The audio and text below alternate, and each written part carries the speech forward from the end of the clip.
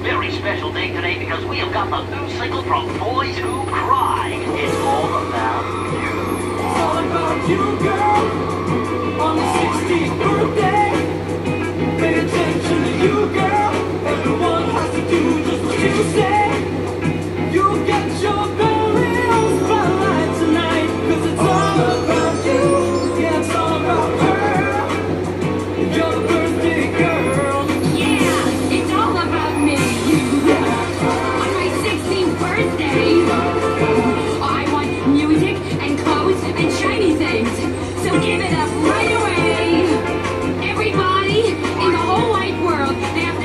to me.